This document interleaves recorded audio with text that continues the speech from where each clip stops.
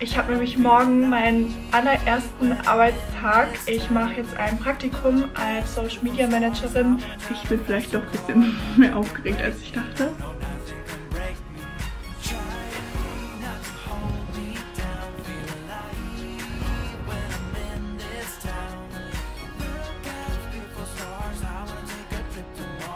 Waren so viele neue Eindrücke, ich muss jetzt erstmal alles verarbeiten.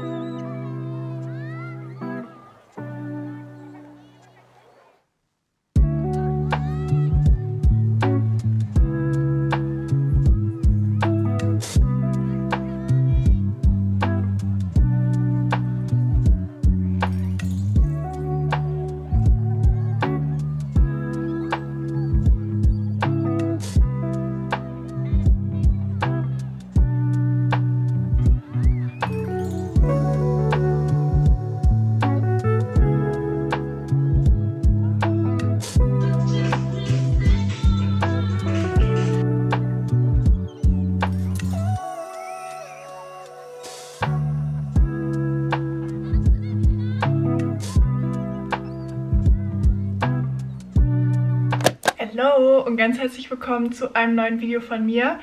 Ich freue mich wie immer, dass ihr wieder mit dabei seid und mich in meiner Woche begleitet. Ich weiß noch nicht, wie lange ich dieses Mal mitfilmen werde, aber es steht einiges an. Ich habe nämlich morgen meinen allerersten Arbeitstag, das heißt, der Ernst des Lebens beginnt und ich bin schon richtig gespannt. Also, falls ihr neu auf meinem Kanal seid, ich mache jetzt ein Praktikum als Social Media Managerin für sechs Monate und genau, morgen ist mein erster Tag. Ich bin schon richtig gespannt, weil ich habe jetzt einfach die letzten vier Monate sozusagen frei gehabt. Ich habe ja mein Studium beendet. Irgendwie bin ich so überbelichtet, oder? Ich mache das mal hier bisschen, bisschen dunkler.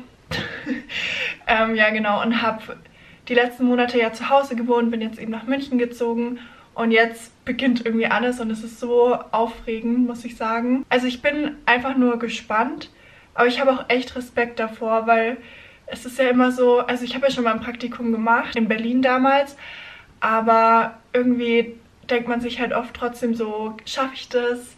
Habe ich das Zeug dazu? also kann ich die Sachen erfüllen, die der Arbeitgeber von mir will, weil im Studium. Man lernt ja sehr viel, aber das Praktische bleibt ja immer so ein bisschen hinten dran. Deswegen bin ich einfach gespannt und lasse mich einfach überraschen, wie das morgen wird. Und genau, ich dachte mir, ich nehme euch ein bisschen mit. Heute ist deswegen mein letzter freier Tag. Ähm, ja, was ein bisschen traurig ist. Aber gut, ähm, ich muss sagen, ich bin auch sehr ready dafür, dass jetzt einfach wieder was anfängt, dass ich in eine Routine komme und dass ich mal wieder so einen Sinn in meinem Leben habe. In den letzten paar Monaten hing ich schon sehr oft in den Seilen einfach nur. Heute will ich noch ein paar Dinge erledigen. Ich habe jetzt erstmal eine Wäsche eingestellt. Jetzt habe ich mir einen Kaffee gemacht. Ich muss sagen, ich fühle mich nicht ganz so fit irgendwie. Also gestern war ich richtig kaputt. Ich bin schon um halb zehn eingeschlafen und hatte auch voll Kopfschmerzen und so. Und heute habe ich das immer noch ein bisschen, aber ich hoffe einfach, dass es jetzt weggeht bis morgen. Also ich fühle mich nicht zu 100 Prozent, aber habe heute früh auch schon ähm, Zitronenwasser getrunken und versuche jetzt einfach wieder komplett fit zu werden, dass ich da voll durchstarten kann. Vielleicht ist es auch einfach die Aufregung unterbewusst. Ich weiß es nicht. Und jetzt äh, werde ich noch gleich eine Bachelorarbeit korrigieren ähm, von der Freundin. Das habe ich versprochen. Genau, deswegen gibt es jetzt hier auch noch ein bisschen Uni-Content. Ich muss da noch was einkaufen gehen. Dann ähm, treffe ich mich heute Nachmittag mit einer zum Kaffee trinken und ich will einmal zur Arbeit fahren, dass ich den Arbeitsweg morgen schon kenne. Also eigentlich habe ich schon sehr viel vor. Ich hoffe, ihr wollt mich wieder in meinen paar Tagen begleiten und ich wünsche euch ganz viel Spaß. Oh, ich hatte gestern keinen Kaffee und mir hat so gefehlt. Ich glaube, ich bin wirklich schon süchtig. Vielleicht hatte ich daher auch die Kopfschmerzen, war daher so, viel, so schnell müde. Aber eigentlich ist mein Kaffeekonsum gar nicht so hoch. Also ich trinke einen am Tag. Ich, ich weiß nicht. Ähm, hm. Ah ja, und was ich noch erzählen wollte, wenn ich jetzt hier schon so sitze mit euch Quatsch.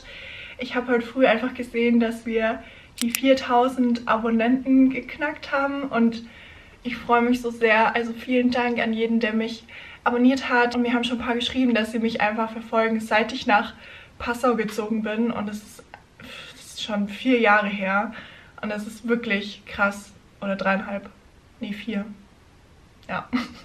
Also, danke schön an jeden, der mich abonniert hat. Und falls du meine Videos gerne schaust und mich noch nicht abonniert hast, dann würde ich mich sehr, sehr doll freuen, ähm, wenn du den Abo-Button drückst. Kostet nichts und du verpasst kein Video mehr von mir. Genau, jetzt geht's los mit der Bachelorarbeit, dass ich mal vorankomme. Äh, ich bin mal gespannt, wie lange ich brauche, weil ich habe letztens auch eine Bachelorarbeit korrigiert und dafür habe ich schon fünf Stunden gebraucht. Aber vielleicht kann ich jetzt ein bisschen konzentrierter dran sitzen, dann geht es vielleicht auch ein bisschen schneller.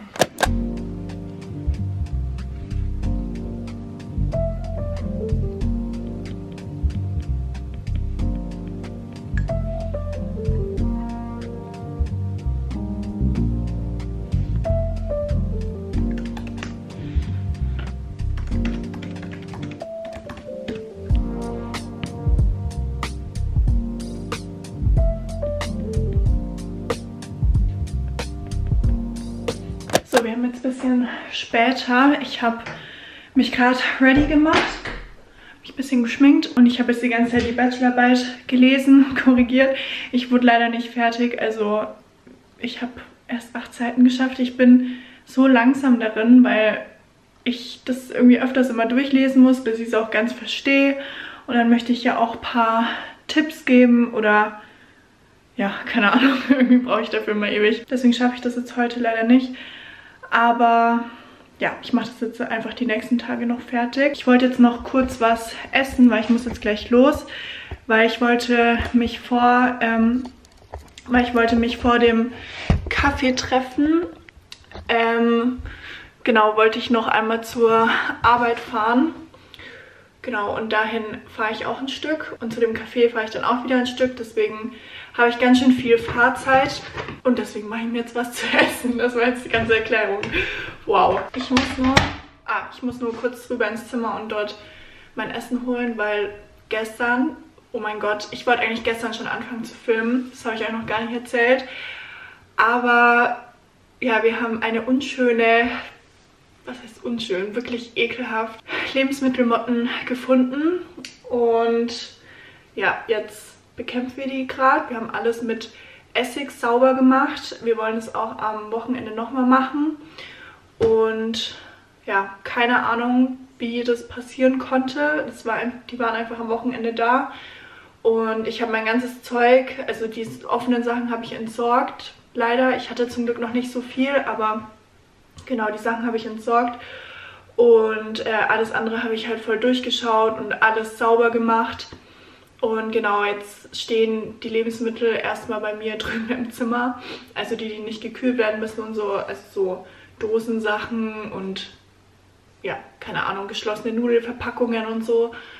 Weil ich das jetzt erstmal nicht mehr in den Schrank reinräumen will, weil wir erstmal schauen, ob wir auch alles erwischt haben. Sau ekelhaft. Mir war gestern den ganzen Tag auch wirklich schlecht. Aber ja, keine Ahnung. Passiert. Und jetzt hoffen wir einfach mal, dass wir alles noch sauber machen. Äh, dass wir alles erwischt haben. Genau, deswegen stehen die Sachen drüben in meinem Zimmer. Äh, ich mache mir jetzt nur schnell einen Snack. Ich glaube einfach ein Brot oder so.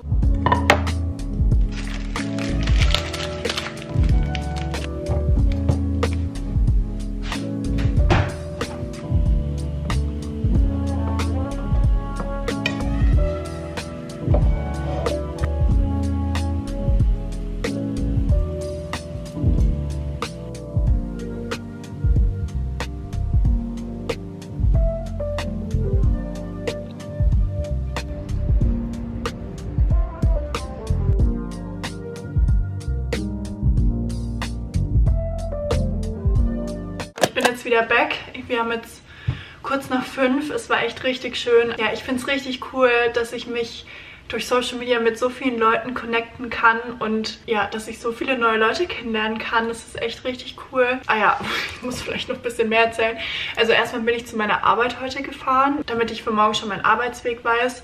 Und ich fahre echt ein gutes Stück, also es ist schon weit weg, aber ich habe es auf jeden Fall gefunden und jetzt bin ich für morgen da, glaube ich, gut vorbereitet, dass ich da auch pünktlich komme. Und dann danach habe ich mich ja mit einer getroffen, die mich auch auf äh, Instagram angeschrieben hatte und es war auch richtig lieb. Wir sind wirklich durch halb München gelaufen, durch die ganze Innenstadt, also Sendlinger Tor, Marienplatz, Englischer Garten. Wir haben so eine komplette Runde gemacht, das war echt richtig schön haben uns beim Kaffee Lotzi was geholt. Das wurde mir auch empfohlen. Genau, der Dirty Chai Latte war richtig lecker. Also kann ich auf jeden Fall empfehlen. Und jetzt war ich noch kurz einkaufen. Ich muss aber auch wirklich sagen, ich bin jetzt so fertig. Ähm, ich glaube, ich habe jetzt 12.000 Schritte für heute. Also es war schon ein kleines Workout. Äh, heute Abend wollte ich eigentlich Udon-Nudeln kochen. Aber es gab keine Udon-Nudeln bei uns im Supermarkt. Deswegen habe ich jetzt so Mienudeln gekauft. Ähm, Brokkoli und noch ähm, Sojasauce und Sesamöl. Und da werde ich mir jetzt was mit kochen. Ich habe auch noch Tofu hier. Genau, für morgen. Für die Arbeit habe ich gleich ein Brötchen noch gekauft. Da habe ich mich auch mit Ann-Kathrin drüber unterhalten, als mit der ich mich getroffen habe. Weil sie fängt morgen ähm, zufälligerweise auch einen neuen Job an. Also sie hat morgen auch ihren ersten Arbeitstag und mir auch so, was nimmt man da zu essen mit? Also was Richtiges zu essen, nur so ein Snack. Irgendwie, ich glaube schon, dass ich krass Hunger habe in der Mittagspause. Und soweit ich weiß, haben wir da auch keine Kantine oder so, dass man da was essen gehen kann. Aber mal sehen, ich werde das alles mit der Zeit rausfinden. Aber für morgen habe ich jetzt ein Brötchen. Und dann werde ich mir noch Joghurt mit Früchten oder so mitnehmen. Das muss ich jetzt mal nach dem Abendessen ein bisschen vorbereiten. Auch so Tasche packen und so.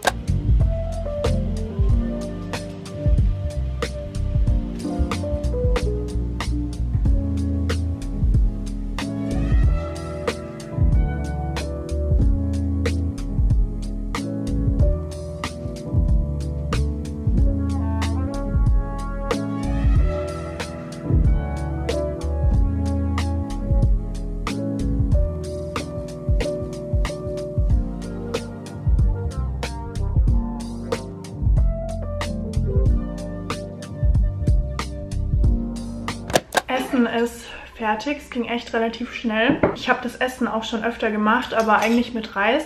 Aber mit Minudeln, aber mit Minudeln ist eigentlich auch voll die gute Idee. Dazu gibt es eine Cola. Mir ist nur aufgefallen, dass ich aus Versehen glutenfreie Sojasauce gekauft habe. Ich habe mich im Nachhinein schon gewundert, warum das so teuer war. Jetzt weiß ich's. Perfekt. Dann halt heute glutenfrei, obwohl die Minudeln wahrscheinlich nicht glutenfrei sind, oder? Ich habe keinen Plan. Naja, das lasse ich mir jetzt schmecken.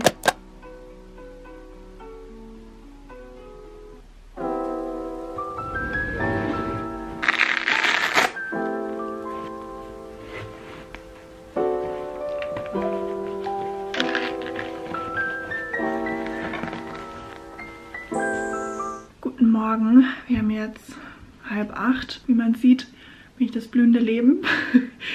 Oh Mann, ey, ich habe heute Nacht echt nicht gut geschlafen. Ich konnte ewig nicht einschlafen. Und dann war ich zwei oder dreimal wach. Ich bin vielleicht doch ein bisschen mehr aufgeregt, als ich dachte. Aber bis jetzt läuft der Morgen gut. Ich bin in der Zeit, wie ich es mir so vorgenommen habe. Ich mache mich jetzt noch ein bisschen ready und trinke dabei noch einen Smoothie. Ich habe gestern so einen grünen Smoothie gemacht der wurde oben schon so ein bisschen, so ein bisschen braun. Mm. ähm, ja, aber das ist ja nicht schlimm. Ähm, eigentlich muss man den ja frisch machen, aber ich wollte jetzt hier nicht alle Nachbarn wecken, wenn ich da so den Mixer anmache. Genau, weil ich kann so früh einfach nichts essen. Also vor allem, wenn ich aufgeregt bin, das geht einfach gar nicht. Deswegen dachte ich mir, kann ich an dem Smoothie noch ein bisschen trinken. Und genau, mein Plan ist, dass ich um spätestens 8 Uhr das Haus verlasse. Ich habe jetzt auch schon meine Tasche fertig gepackt. Dann sehen wir mal, wie es wird. Ich bin echt sehr, sehr gespannt. Gestern habe ich auch noch das ganze Essen vorbereitet. Ich habe jetzt einfach ein Brötchen dabei, ein belegtes Brötchen. Und was habe ich noch dabei? Ach so, Joghurt mit Mango und ähm, Walnüssen. Ich hoffe mal, das reicht für den Tag. Und dann koche ich richtig, wenn ich zu Hause bin. Und wenn es nicht reicht, dann gibt es dort auch noch in der Nähe einen Supermarkt. Dann kann ich mir da noch was kaufen in meiner Mittagspause oder so. So Leute, ich sitze am gleichen Platz wie heute früh. Ähm, nur fertig auf jeden Fall. Ich bin so müde. Aber es war ein toller Tag. Es war wirklich so aufregend. Es waren so viele neue Eindrücke. Ich muss es erstmal alles verarbeiten. Aber es hat alles gut geklappt. Ich war pünktlich dort und ähm, die Leute sind nett. Und ich habe mich wohl gefühlt. Also ja, ich habe sogar auch was geschenkt bekommen. Oh. Das ist jetzt voll schwer, weil ich habe da erst nochmal Wasser reingefüllt. Und zwar habe ich diese wunderschöne Vase geschenkt bekommen mit Tulpen drin. Also richtig pretty. Ich stelle mir das auf jeden Fall hier auf mein Fensterbrett. Und einen Pulli habe ich noch bekommen. Den habe ich aber erst mal im Büro gelassen, weil ich konnte gar nicht so viel tragen. Das war wirklich ein richtig erfolgreicher Tag. Aber ich bin jetzt absolut platt. Also ja, ich mache mir jetzt was zu essen. Ich habe überhaupt nicht das gebraucht, was ich mitgenommen habe, weil wir sind heute dann essen gegangen. Wir waren italienisch essen mit dem Influencer-Team und mit dem Social-Media-Team. Deswegen habe ich jetzt ein Frühstück auf jeden Fall für morgen. Und das Brötchen esse ich jetzt und ich habe auch noch Reste von gestern, das esse ich auch noch. Ich konnte heute früh wirklich absolut nichts essen.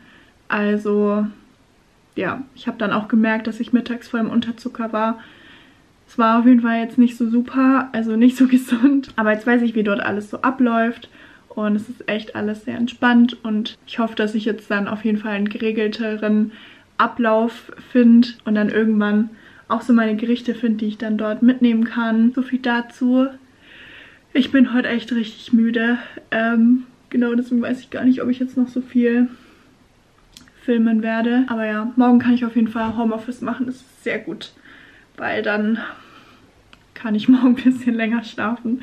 Das ist eher eine sehr humane Woche. So zwei Tage arbeiten, zwei Tage Wochenende. Das ist super. Es kann meinetwegen auch so weitergehen. Nächste Woche geht es dann so richtig los. Heute war es halt eher so Onboarding-Zeug. Deswegen, ja, noch sehr, sehr entspannt.